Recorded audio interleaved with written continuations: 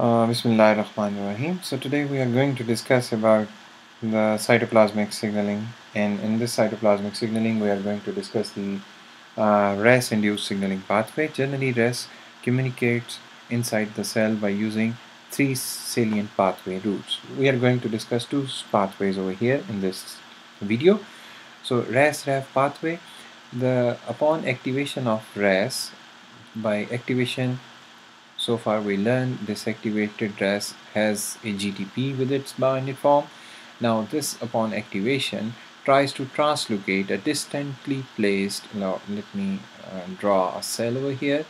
Now let's draw a nucleus and then we say that there is a RAS bound with uh, membrane part and then upon its activation let's draw some signals over here then uh, upon its activation it actually helps to translocate to translocate these RAF particles closer to it. And then these RAF particles came into the vicinity of RAS upon binding with RAS-RAF complex.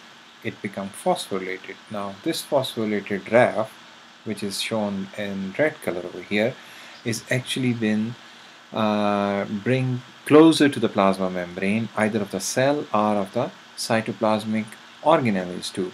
So RAS-RAF complex formation uh, further needs to activate a range of other uh, proteins and now these proteins are uh, called as MEK. Now this MEK is an other protein which is being uh, what you can say also gets phosphorylated. Now this RAF complex which is labeled as in red color tries to uh, formulate another phosphorylate another complex which is called as MEK. Now upon the translocation of MEK, this MEK has a very interesting role. It has a dual specificity kinase property. By dual specificity means it is also not only phosphorylating serine, threonine, but it also has an ability to phosphorylate tyrosine components. Alright, so serine, threonine, and tyrosine, all these uh, kinases amino acids are being phosphorylated by this MEK and then in this MEK so that means it is actually phosphorylating a wider range of uh, proteins. Now these wider range of proteins phosphorylations lead to the activation of two more additional components. Those these components are called as extracellular receptor kinases. They are called ERK1 and then they are called as extracellular receptor kinase, extracellular receptor kinase, ERK2.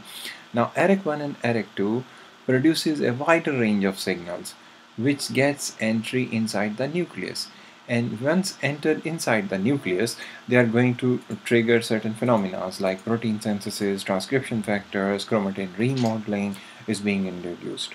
Alright, so let's draw this pathway somewhat like this over here and uh, MEK and then we have learned that there are two molecules. They are called ERK1 and ERK2 alright so we can like uh, use another color over here. Now if we say ERK1 and ERK2 okay interestingly there is another other alternate name for ERK1 and ERK2 pathway activation and this is generally called as mitogen activated protein kinase signaling. So MAPK stands for these two compounds what you are looking right now. And this MEK is also termed as MA mitogen activated protein kinase kinase 2 RAF which also itself acts as a proton uh, as an oncogen in certain cancers could be also labeled as MAP triple K. Alright because it is responsible for the kinase activity of MEK and which further leads to the kinase kinase properties of ERK1 and ERK2 so that's why you can also say that RAS-RAF induced pathway could also be termed as mitogen activated protein kinase pathway. Alright, that's what we learned in uh, one form of RAS activation, route, and uh, in the next part, RAS RAF has a self-sufficient entity, alright, so activation of RAF itself can trigger MEK pathway that we learned just in the last slide that BRAF pathway observed in melanoma patients. The activation of BRAF, irrespective of whether there is a RAF's involvement or not, has been reported in around 50% cases of melanoma patients have, a, have an overactivated RAF inside them rather than a RAS mutation, while the RAS mutation is present in remaining one third of these patients. So there is a proof of redundancy that this pathway is more actively involved in um, skin cancers. All right. Now, ERK pathway is the main factor responsible for the increase of protein uh, phosphorylation. This is the signal I have just make uh, your life more easy. So P stands for phosphorylation.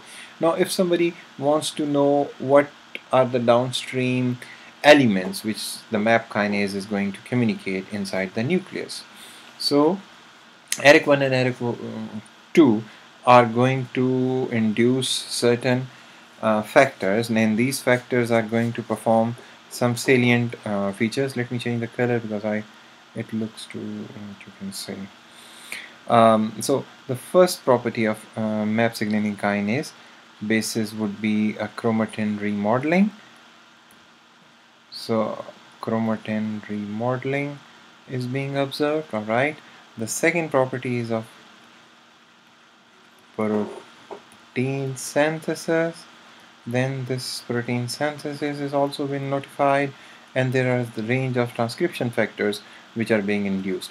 For transcription factors we can remember the words FOS and JUN which I have discussed in my uh, last lecture which is responsible for immediate early genes upon a serum starvation lecture. So FOS and JUN are released and fos-jun release led to the formation on, uh, of uh, cells proliferation phenomena. They trigger cell proliferation as we learned from IA, IEG things. Good? And together, if the FOS and JUN combine together, JUN combine together, that complex is generally called as AP1 okay do remember this thing.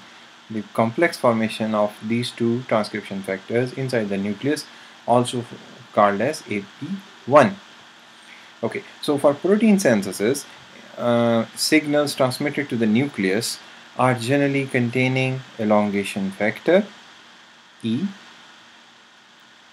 I F4 elongation factor 4 and for chromatin modeling you can say MSK1 is the key element which is being phosphorylated and is activated form travels inside the nucleus. So MSK1 uh, and EIF4 elongation factor 4 and these FOS and JUN are the elements which are which are being facilitated by MAP signaling kinase. So this is the one route of RAS mediated pathway. The next route is RAS is also responsible for the phosphorylation of lipids, phospholipids, alright? So that is a unique property of RAS. Now phosphorylation of lipids is being induced by in by RAS via AKT pathway. AKT pathway. So what you are looking in the right panel are the phospholipids elements. So these are the two fatty acids and these colors are the hydrophobic head groups and this color is basically an indication of inositol group attached to the phospholipid uh, membrane carbohydrates domain. So the inositol group attached is of hydrophilic in nature carbohydrate structure and its phosphate addition uh, leads to the phosphoinositol group. Now we are discussing about the AKT pathway. Before going to the AKT pathway we should learn that the final product of this inositol mediated activation are two in form. Number one, inositol 3 phosphates, IP3 or PIP3. Okay? Yeah, PIP3 compounds will be bounded in if the structure is remain in bounded to the cell membrane. So if bounded form में the structure would be called as PIP3 and if in bounded are freely floating inside the cytoplasm then it will be IP3 elements. Now IP3 compounds are generally called as intracellular hormones or second messengers. They diffuse away from cell membrane and trigger calcium release with second part as diacyl glycerol. Just remember the names right now. I'm going to present this in a more elaborative way in the next slide. So they are responsible for the activation of key protein kinase C, serine kinase activity and PIP3 attracts more pH in pleckstrin home domain carrying elements to attach the cell membrane. Acha. So how it works? Look over here. This is a plasma membrane, phospholipid bilayer. Now these are the green, these two green legs are basically the fatty acids bind together to a glycerol and this glycerol has a phosphodiester bond bind to inositol. Now inositol complex is basically turning this whole uh, thing as and it's labeled as phosphatidyl inositol PI PI now these PIs are generally present at a very low concentration at a very low concentration on the plasma membranes okay? And once they are present inside the plasma membranes they are generally present in a very low density okay? So what I am looking out is the plasma membrane and in this plasma membrane there are certain inositol elements. There are certain inositol elements which I am going to label as yellow over here. Okay and they are, they are difficult to read.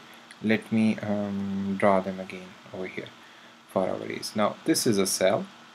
In this cell there there are this is what you can say phospholipid bimembrane and towards the inner side towards the inner side there are compounds which are called inositols and they are present. And this inositol formation is actually been induced by a phosphodiester bond. So they are called phosphatidyl inositols. So upon the activation of a RAS GTP RAS GTP somewhere over here or around here let's suppose this activation is being induced in this part. Uh, let's change uh, the color right now for this process so that we can get a clear understanding. Oh sorry. Everything gone? Uh, no worries. Now we are going to get it back. This is a cell. And uh, let's show it has GTP activation as in red color alright? So the RAS GTP complex it's in active form. This activation leads to an increased phosphorylation. Increase uh, phosphorylation of phosphatidyl inositol. So PIK kinases are responsible for the addition of two more phosphates 4 and 5 and it is called as phosphatidyl inositol. Phosphatidyl inositol. Okay. Now this phosphatidyl inositol has two channels. Either it is going to be converted from pip to just follow this route. From PIP2 it is going to be converted as pip3 okay forget about the chemical structure right now just for A's. So there is a phosphatidyl inositol which is being phosphorylated first into two phosphorylates then there are three phosphate groups attached to the inositol item. Or it gets it get out it get divided or cleaved into two forms. Number one is called diacyl glycerol diacyl glycerol. Now this complex is called as diacyl glycerol. And the other part is generally labeled as inositol triphosphate because the third phosphate is the phosphate of the phosphodiester bond formed between glycerol and inositol complex. So uh, this is the story. Then upon the formation what is the role of each molecule? Look diacylglycerol upon the freeance of uh, this inositol uh, molecule is responsible for the activation of protein kinase C. That's what you need to remember right now. And the inositol triphosphate IP3 is responsible and this free floating molecule is responsible for the release of calcium from certain parts of cellular organelles. Right? And in case these two things are not happening and PIP2 is converted into PIP3 then this PIP3 complex, which is again membrane bound structure, is responsible for the tethering, tethering of additional pH domain proteins. Okay. Now, we learned so far these things that there is an inositol element present with the phospholipid membrane and this uh, phospholipid membrane inositol is being further additionally phosphorylated upon the exposure of RAS and RAS activated form results in the additional phosphorylation has two options either to get cleaved either to get cleaved like this and are remain bounded. In case if it remain bounded it is going to uh, ask for more proteins like structures to come and bind and find an active vicinity over here. Else there is no interaction and this free floating molecule acts as a free bird inside the cytoplasm and responsible for the release of calcium. Now I have deciphered this part with the additional characteristics okay? Her individual molecule what is playing what its role?